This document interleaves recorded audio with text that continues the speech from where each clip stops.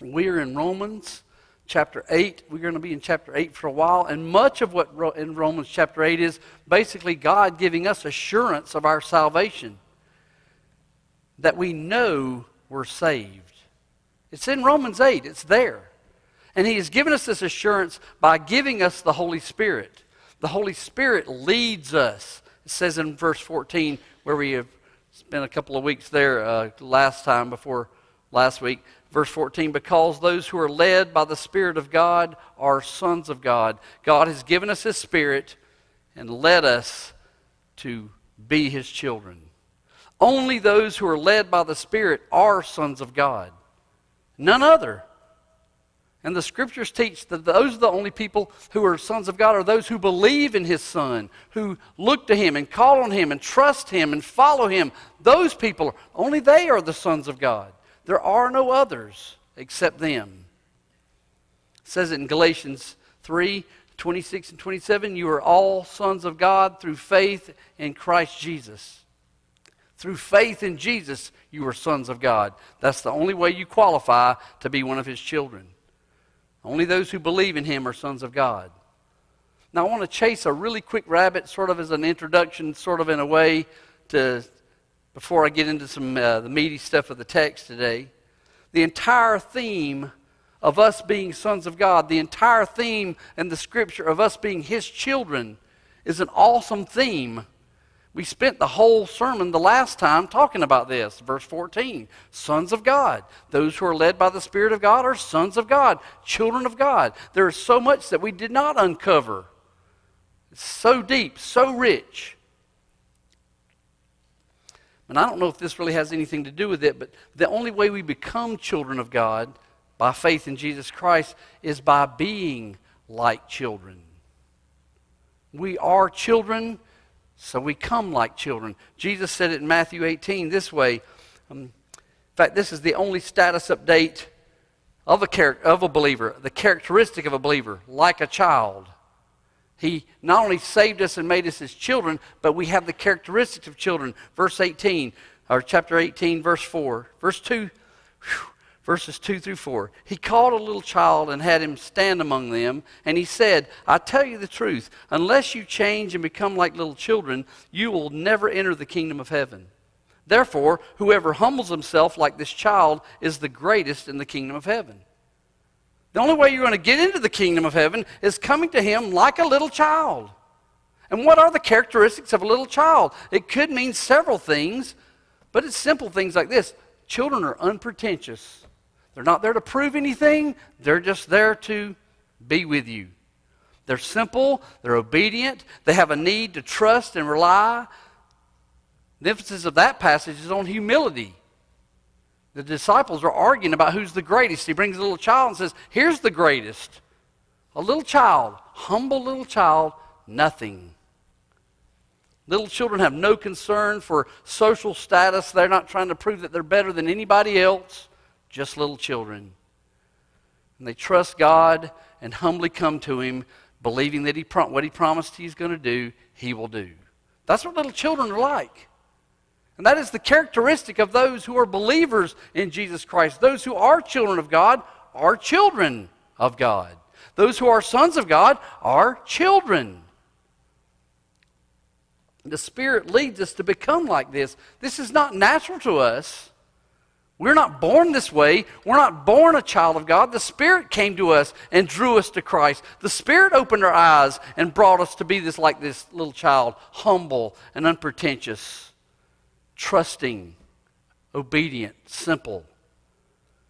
That is the direction of our lives, following Jesus Christ as a child. Now, none of us do that perfectly. We fail way too much all the time, but that is our direction. And that in itself, by itself, all alone, that one characteristic is assurance of our salvation. You follow Christ like a little child, you follow Christ like a humble child. That's shows me, shows you that you're saved. Just being a child. And we could just keep going and going and going on and on about this one thing. The Spirit leads us to reflect the character of God. The Spirit leads us to um, be like the Father. The Spirit leads us to bear spiritual fruit. The Spirit leads us to put to death the misdeeds of the body. That was verse 13. Those are things that the Spirit does in us. The Spirit gives us this assurance by making these things live in us. Characteristics of children of God. That's what we are.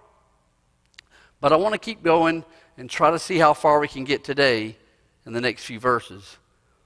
I, am under a, a great deal of pressure, not from you, but from me. And y'all know my struggle. I struggle with this every day. Every week we study. Every week we, get, we come together to talk. It really is overwhelming.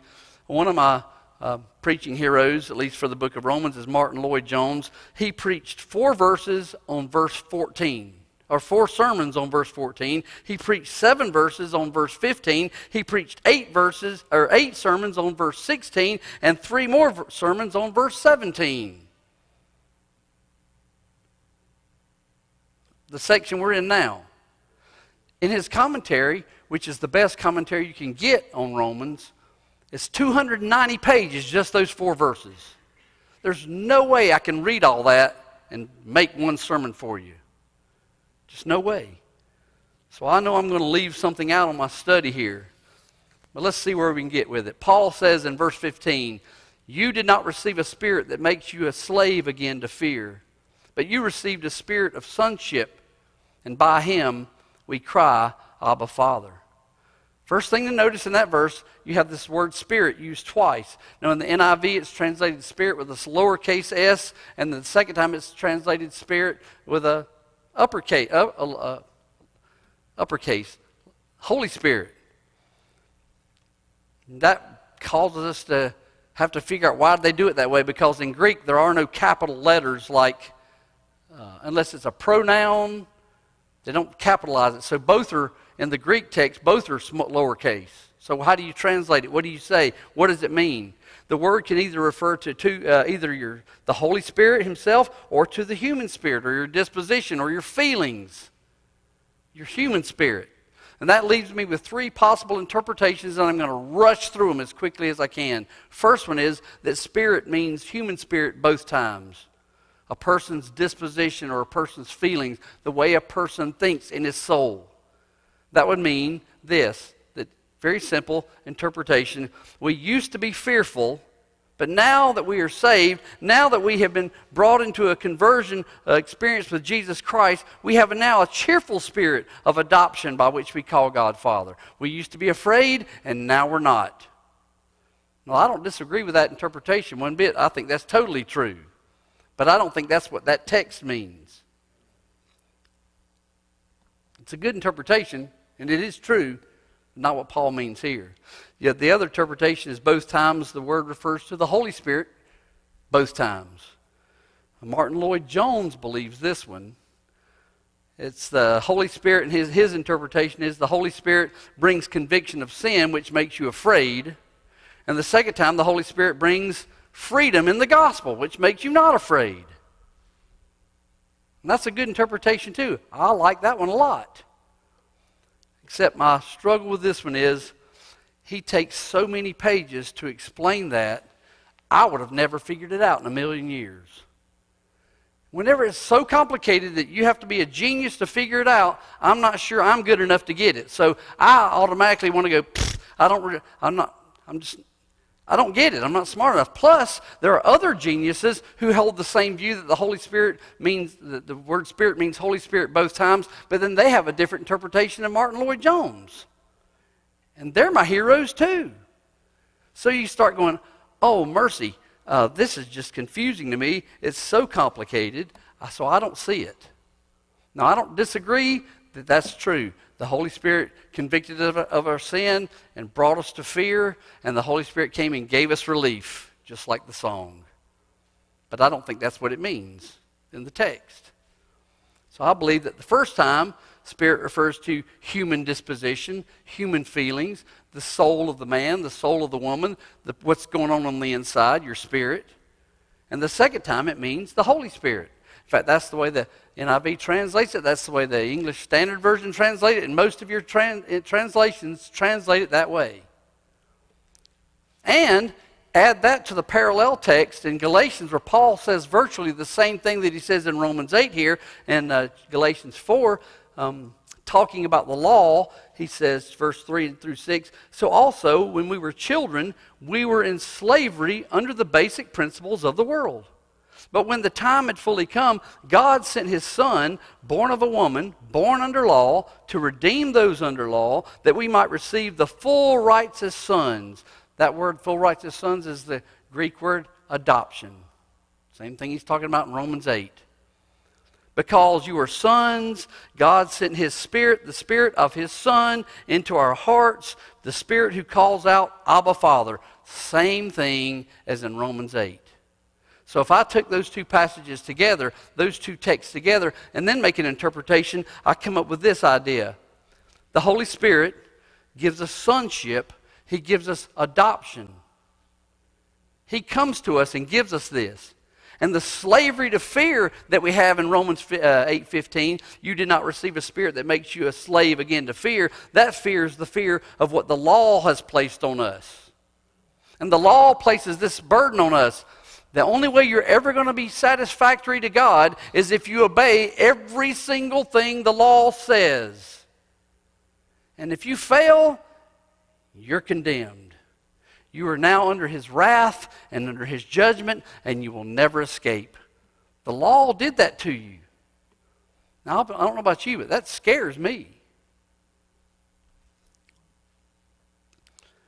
Because we know back in verse 7 and 8 of Romans 8, you will not submit to God's law, and you cannot submit to God's law because the natural man, the man without the spirit, the man who is just in the flesh, that's what we are. So we can't submit to God's law, we won't submit to God's law. So the law brings fear among us. The reality that you're under God's wrath, that you will die and face His judgment, it is a slavish and anxious apprehension of punishment. That's fear. That's real fear. In fact, that's a, a, the kind of fear you ought to have so that you will come to Christ. That's what the law does. Brings you to that place where you know you're going to be judged and only Christ can save you from it. Now, if you're afraid, guess what that does to any potential relationship you might have with God? What? Ruins it. There's no way to have a proper and pleasant, tender, and joyful relationship with God when you're afraid of Him. No, I don't mean like a holy fear.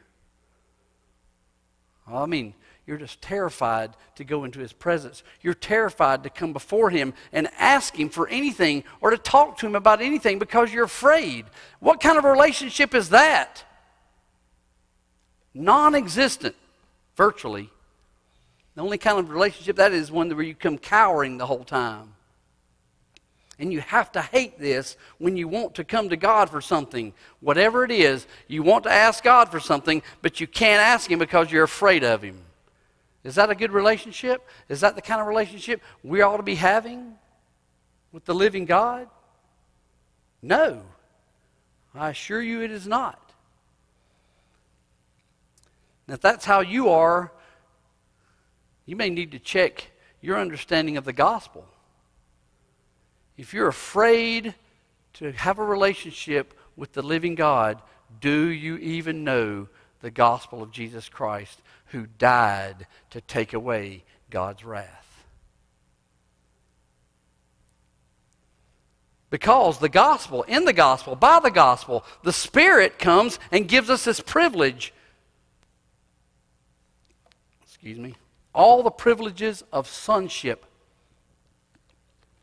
all the privileges of adoption, all the privileges of being a child. The Spirit gives that to us.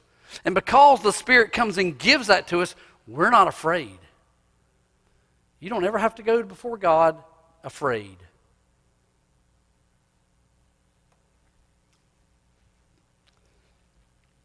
We don't have the fear anymore. Our relationship with God is not one where we're afraid to approach Him or we'll die if we ask anything. There's, there's no more terror because of our sin anymore when we come to God. Our sin has been taken away, our sin is gone. All All of them. No more fear. Sin is gone. This is what the writer of Hebrews talks about in chapter 2, verse 14 and 15. He says, Since the children have flesh and blood, he too, talking about Christ, he too shared in their humanity, so that by his death, the gospel, on the cross, by his death on the cross, he might destroy him who holds the power of death, that is, the devil, and free those who all their lives were held in slavery by their fear of death. That's our salvation. That's our salvation. Christ became one of us so he could die for us and take away the fear of death, take away the fear of judgment, take away the fear that the law put on us. That's our gospel message. The writer of Hebrews also, chapter 12, says it this way, verse 18 through 24 You have not come to a mountain that can be touched and that is burning with fire, to darkness, to gloom and storm, to a trumpet blast, or to such a voice speaking words that those who heard it begged that no further word would be spoken to them. You didn't come to the mountain Sinai where the law is there, and if you touch it, you will die, and you're terrified of it. You didn't come to that mountain because they could not bear what was commanded. Quote, if even an animal touches the mountain, it must be stoned. The sight was so terrifying that Moses said, I am trembling with fear. We didn't come to that. But you have come to Mount Zion to the heavenly Jerusalem, the city of the living God. You have come to thousands upon thousands of angels in joyful assembly. To the church of the firstborn, whose names are written in heaven. You have come to God, the judge of all men, to the spirits of righteous men made perfect The one who makes you perfect, the one who makes you righteous, the one who declares you righteous, who gives you Christ's righteousness. You've come to Him. Now clothed in the righteousness of Christ. And to Jesus, the mediator of a new covenant, the one who stands before God and intercedes for you. That's who you've come to. And I'll, I'll promise you this whenever He asks God the Father to do something for you, it gets done. And if he says, Father, those are my people, don't judge them, you will never be judged. You have come to him, the mediator of a new covenant, and to the sprinkled blood that speaks a better word than the blood of Abel. The blood of Christ shed on the cross cleans you totally. That's, that's the gospel we've come to. We've come to Jesus Christ. We didn't come to the law. We didn't come to Mount Sinai. We didn't come for fear. We don't have any fear anymore in Christ Jesus because the Spirit has come to us. We don't have that fear. God is not going to get us if we show up to ask Him for something. You know why? Or you know why not? We will not be judged while He won't condemn us if we show up asking for something or whatever we want to come to Him for? You know why we won't be condemned? Why? Because verse 15 says, You have received instead the spirit of sonship, the spirit of adoption. You have re- received an adoption by the Spirit. We, have, we are adopted the Holy Spirit that adopts us, we have received Him. The Holy Spirit has come and made us have, have a new status. We are now in the family of God. We are now children of God. It's amazing. It's awesome. I, I, I'm, re, I'm reluctant because I don't know how to preach this the right way. Our culture, I do not think, understands adoption the way Paul meant it in Romans or in Galatians. Because we, uh, Don posted a cool video. Little girl was getting adopted. And she's crying. I'm crying. It's beautiful. I'm getting adopted? Oh, wow. And they're kissing on her as sweet as it could be. But see, we think of adoption as sort of a way of having pity and showing mercy and doing something sweet for someone. Now, it's got love in it, not trying to take it away. It's all loving. But that's really not the way Paul meant it in the New Testament. See, we, we, we adopt children because we can't have children in the regular way, or we just feel sorry for them, and so we adopt them out of pity and out of mercy. So they don't have a horrible life. They come live with us, and it's going to be great at our house, right?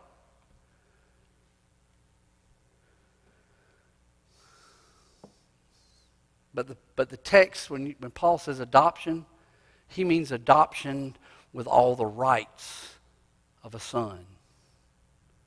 Adoption with all the privileges of the son. Not just so you don't have a horrible life, but so you get everything. The word adoption is only used five times in the New Testament. Three of them are in the book of Romans. It doesn't even occur in the Old Testament at all. In fact, it, it wasn't a, wasn't a very common practice among the Jews anyway. There were some episodes in the Old Testament where I guess you could say it was an adoption, but it doesn't say it that way, not directly. Like uh, uh, Pharaoh's uh, daughter adopted Moses, stuff like that. But it doesn't say it that way in the text. The Greek word technically means to have an installation or placement as a son, to formally and legally declare that someone who is not one's own child is from now on to be treated and cared for as one's own child, including the rights of an inheritance. In fact, that was the reason they adopted you, so you could get stuff. All the stuff. Everything. A person is taken from one family or no family and placed into another family. And in the context of salvation, that God has removed us persons, uh, the, us persons from the family of Adam and put us into the family of his son. We have been adopted as children of God into his family with his son, and we are no longer in the family of Adam. That's the context of salvation. The words uh, Ephesians 1 5, and he predestined us to be adopted as his sons through Jesus Christ in accordance with his pleasure and will. There's one of the uses. Another one is we read this one already, Galatians 4. We were children, we were in slavery under the basic principles of the world, but when the time had fully come, God sent his son, born of a woman, born under law, to redeem those under law that we might receive the full rights as sons. That's how the NIV translated that word adoption. Full rights as sons. The idea is really foreign to us because we don't see adoption as, a, as an honor. That's the way the Romans meant for it to be. The adopted son was often honored more than the natural children. If you got adopted, you got more stuff than the kids that were born with them. You got more honor. It was an act of honor to be adopted. It made you, made you really high up on the social scale if you were adopted in Roman culture. Julius Caesar was adopted. Octavian, his grandnephew, later Emperor Augustus, he was adopted. Julius Caesar adopted him, called him his son and his heir. I mean, that's so big time that the emperor said, This guy's going to be the emperor because I adopted him as my own son. He's really my grandnephew. But no, he's my son now, and he gets to be emperor. Now, you and I are stuck with the family that we're born in. Nothing you do about it. You got what you got. It's in the DNA. Your mom and dad played biology games, and you're here. Nothing you can do. But if you're adopted, you were chosen. If you were adopted, you were chosen, and that's a, no, a, noble thing, a grand thing. Not just, hey, oh, we're going to have a baby. No, let's go adopt let's go adopt a son so he can inherit everything. The son was adopted deliberately, deliberately chosen by a family to preserve that family name and to inherit that family estate. That's the reason for adoption in the Roman world. Now, it's complicated and it's technical. It's got a lot of meat to it, and I'm not going to get into all the technical stuff. But basically, when a Roman family adopted you, you're honored more than their normal natural children. In fact, you have first dibs on the inheritance before the natural children. That's the Roman culture of adoption. That's what Paul means when he says adoption. And when it's, when it's talking about our salvation, it means that God chose us when we had nothing and we were nothing and we were going to never contribute anything to his kingdom or anything of our own to make him glorious or anything. It was all him and he did it. He chose us and brought us to himself and gave us the inheritance, everything. That's next week's sermon, too, because I won't get to verse 8, 17 today. God took someone who is not a natural child and made them the heir of the estate. We are sons, we are children because God adopted us into his family. You're his son, you're his daughter, you're his child, you are his. You're in the family. And you get everything because you're in the family. He chose you to be adopted. He predestined you to be adopted. That's what the text says. We are made his children through adoption, and he gives us everything. Now, I want to tell you this too. The opposite of fear happens when you're adopted. The opposite of fear we didn't receive a spirit again, of slavery to fear again. We received the Spirit, the Holy Spirit, who brought us into an adoption relationship with the Father. And we're not afraid anymore. We don't cower in terror that we don't belong to God anymore. We don't have a total breakdown and meltdown because we try to come to Him with something. Instead, what? Verse 15 By Him we cry, Abba, Father. I want to camp on this for a second. This is beautiful, very sweet. This is very sweet because this one phrase right here, by him we cry, Abba, Father, is a great assurance of your salvation. You want to know if you're saved? You want to know if you're really one of the children of God? Do this. In fact, you already do it. You do it automatically. It's because you're a child, because you're adopted. This is what you do. You cry, Abba, Father. The Holy Spirit regenerated us. The Holy Spirit opened our eyes to show us the death of Christ was for our sins. The Holy Spirit showed us that the death of Christ satisfied God's judgment and his righteous wrath against us. The Holy Spirit showed us all that. The Holy Spirit lives in us and dwells in us. And by living in us, he leads us to this intimate and tender communion and prayer with God as Father. Same thing, Galatians 4. We read it already. Because you are sons, because you are sons, God sent the Spirit of His Son into our hearts, the Spirit who calls out, Abba, Father. This word, uh, Abba, it's an Aramaic word Paul used the Aramaic word in the Greek text, but he also uses the Greek word because the word in Abba in Aramaic is translated father. He uses both words there, Abba, father, but he uses the word Abba to emphasize something. I believe it's critical that you, you get this. It emphasizes that it's a tender, sweet, special intimacy, a dependence, a complete lack of fear and anxiety when you come to God. Abba, that's the word. It's the word used by children when they speak familiar, familiar, little with familiarity. When they're that close to their dad, when they're that close to their father, that's what they call him Abba. Just like Matthew 18, just like little children. See this little child, unless you receive the kingdom like one of these little children, you'll never enter the kingdom. You know what, you know what those little children do? You know what they call their dad? You know what weirds people out whenever they hear a kid, a little kid say to their dad, Father. Which kid does that? Does anyone know a, a child that says Father? No. What do they call their dad? Daddy. Papa. The Aramaic word is Abba. That's what they say. Abba is a little child's word of the most intimate endearment, Daddy, hold me. Daddy, play with me. Daddy, um, help me. Daddy, catch me. Daddy, uh, can I have something? Daddy, it's always daddy, daddy, daddy. And when daddy comes home from work, they just go jump on him.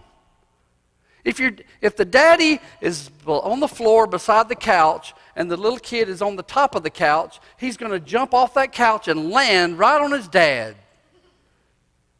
and have fun doing it. And the dad's going to go, oh. If you're a dad, you know what, you know what I'm talking about. And you love it. Daddy, watch. Daddy. That's what kids do. That's what little children do. It's the common instinctive word for little children who talk to their fathers. It's like it, when you see a movie where the kids are raised in like a military type, type family and they all come in regimented. Father, it weirds you out. It's like, what's wrong with these people? I want some little kid to come jump on his dad and go, Daddy. That's what this means. That's exactly what Paul means. Daddy. Jesus used this word, Mark 14, 36, when he was in the Garden of Gethsemane praying, Abba, Father, he said, Everything is possible for you. Take this cup from me, yet not what I will, but what you will. Jesus used this word, Abba, Father. Now, this tells me a couple of things. One is this explains to me how deep the emotional attachment was, the deep, how deep the emotional relationship Jesus had with his Father. That he is getting ready to die tomorrow on the cross, and he's calling out to his Father, not Father, if it's your will. He's like, Daddy, Father, Abba, ah. And it also shows me the agony he was experiencing that night, sweating drops of blood, knowing that tomorrow he's going to endure the wrath of his Father for sinners. Abba, Abba, Father speaks volumes right there. Father, Abba, I've got to take your wrath upon me. If there's any way to let this go away, please let it. But not what I will, but what you will. Father, Abba. And I think, I believe it in the same way, the same way. Not because we have to endure God's wrath, but in the very same way, the Spirit causes us to cry out. That's what the word means cry out. The Spirit works in us to cry, to cry, to cry. The word means to shout to scream, even. A deep, emotional, heartfelt, desperate, affectionate cry. Father, Abba, Daddy, help me. I'm coming unglued. I can't make it. I'm going to fall apart here. Save me. Daddy. That's what Paul means. That's exactly what he means. The Spirit causes you to cry out. You cry out. You have a relationship with God as Father, and you know it. Not a formal, not a regimented, not a cold, not a mechanical way. Father, I have to go through these steps to go and tell him my request so he can help me. It's just like a little kid crying out, Daddy, help me. Daddy, catch me. That's our relationship with God now because of the Holy Spirit. He gave us the spirit of adoption that cries, Abba, Father. Now, I am not trying to say we should be flippant or casual or irreverent. I believe every true adopted child of God knows that's not the way you're supposed to be. But every true child of God knows that He is your Father, and you can go to Him because He is very familiar to you, and you are familiar to Him, and you can go sit on His lap. You can do anything you want to in His presence because you're a son. You're a child. Adopted with all the privileges of a child. You get everything. Just go and cry, Abba, Father. He makes you cry out. And I just have to ask, is that your pattern? I mean, is that the way you pray? Because I think that's the way you should be praying if you're saved. Because that's what the Spirit does. He just makes you cry out. Daddy, I'm here. I've got nothing to bring. I just need you to hold me.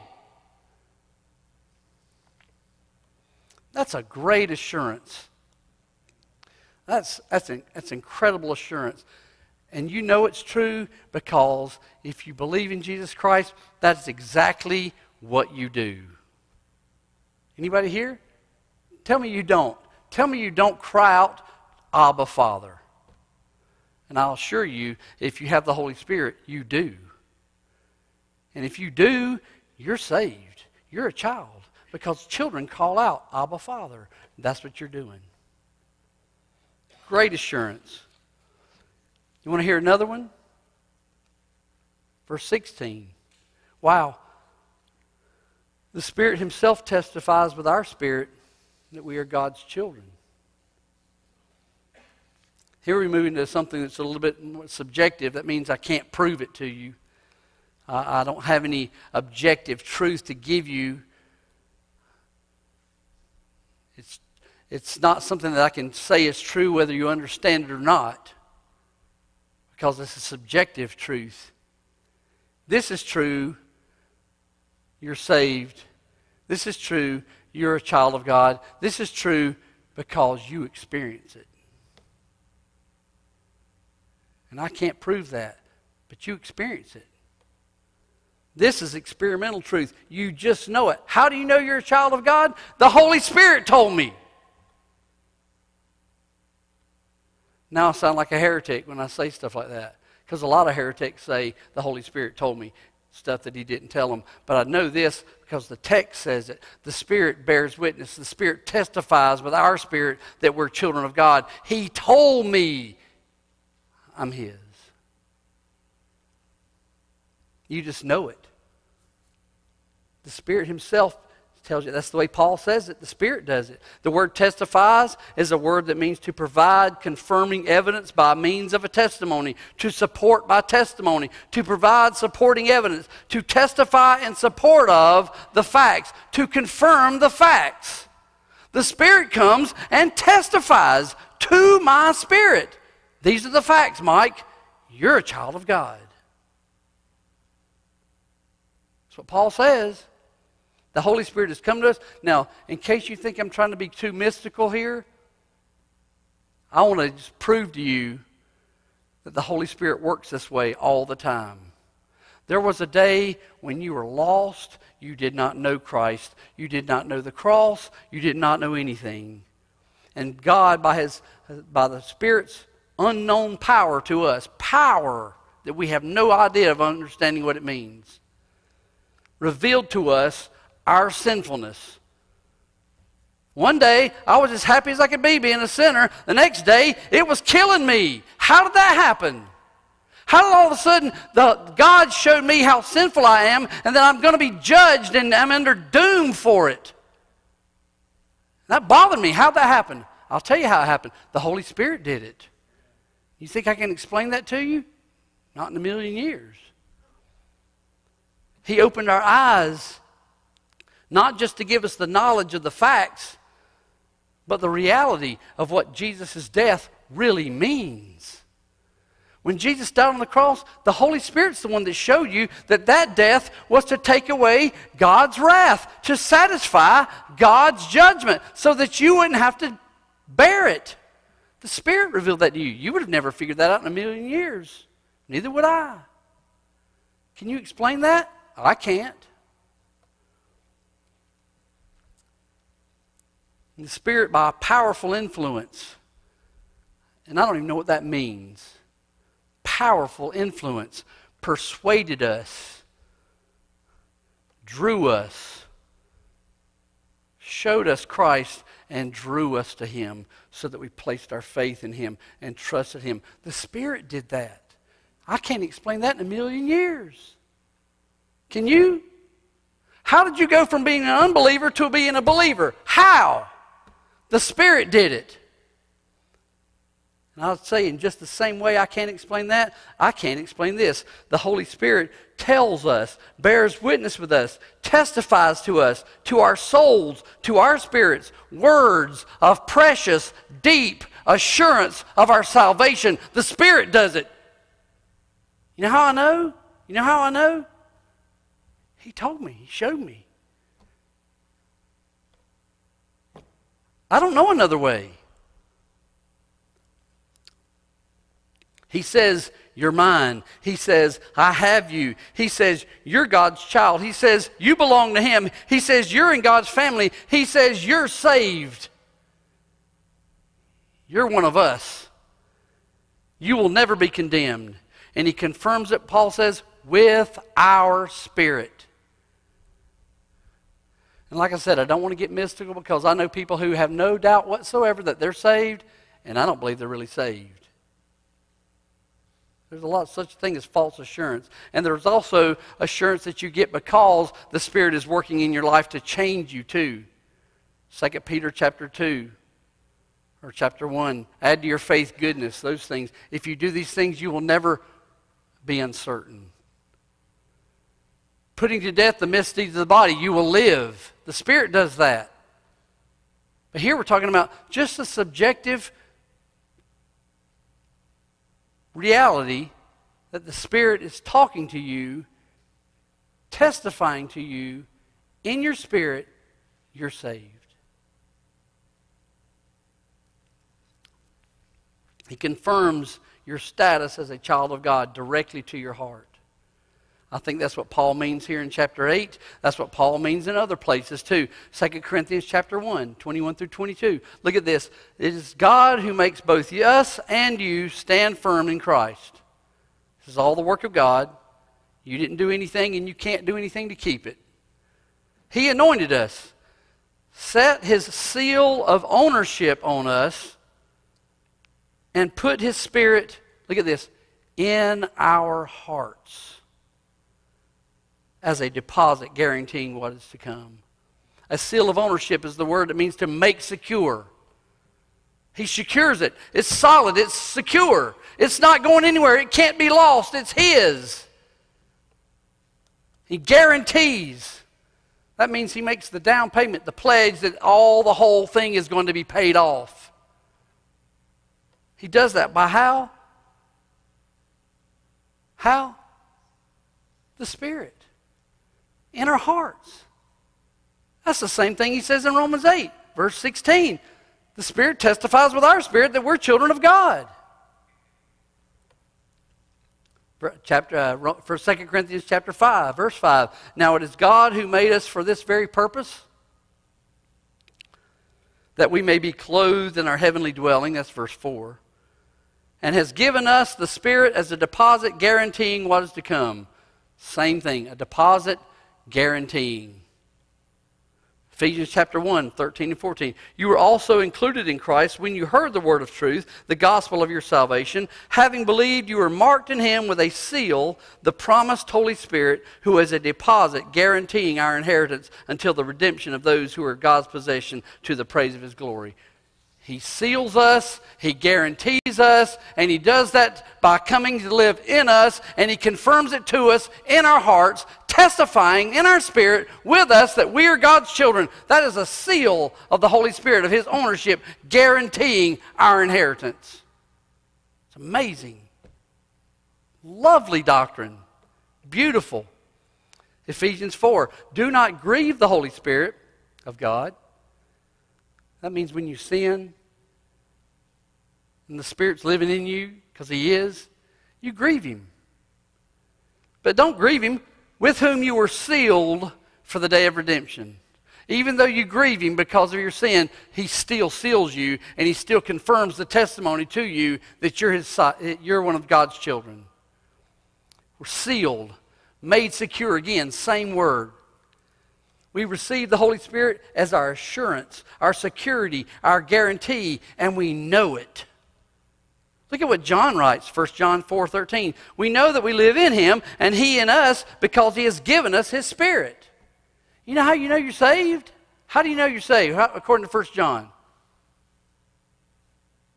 We know that we live in Him and He in us. Why? Because He gave us His Spirit. The Spirit lives in us, and the Spirit confirms it to us. There is no wandering through life wondering if you belong to God, if you're His child. The Spirit gives you assurance.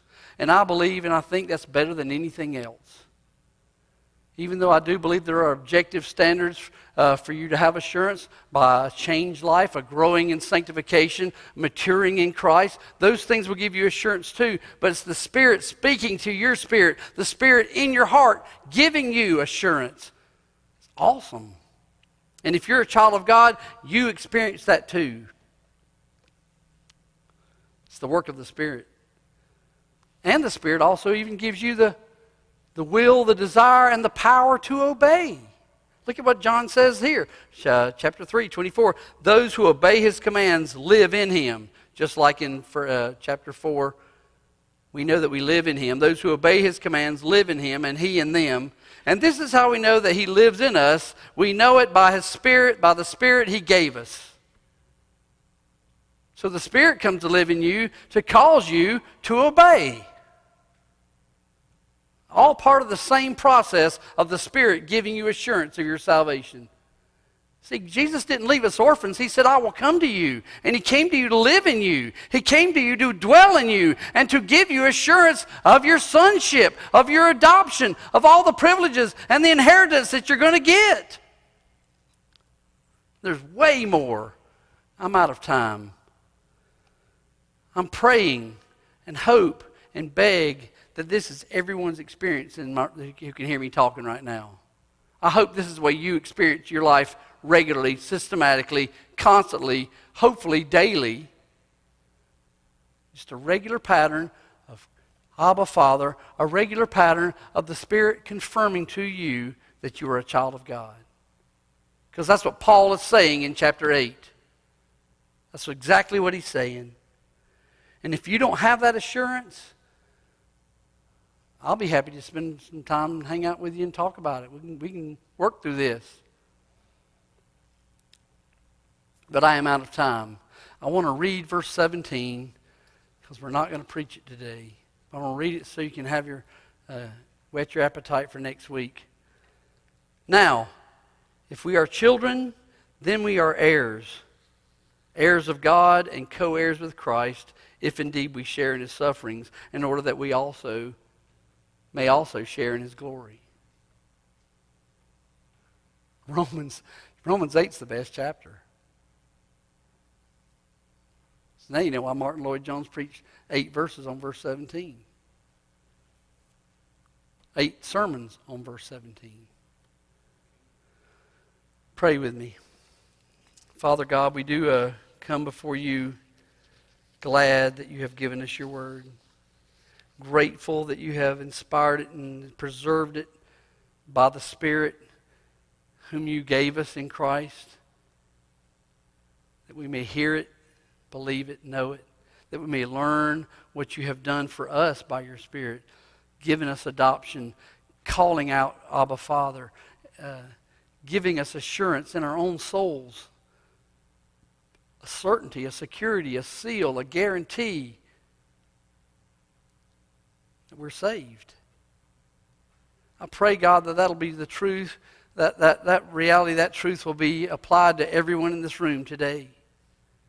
No one will leave here not knowing Jesus Christ as Lord, as Savior, following Him, believing Him, trusting Him like a child.